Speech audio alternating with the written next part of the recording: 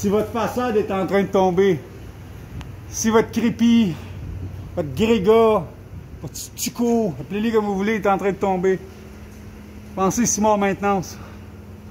On va venir réparer ça, ça King Coche. Peu importe où est-ce que vous êtes, pensez Simon Maintenance.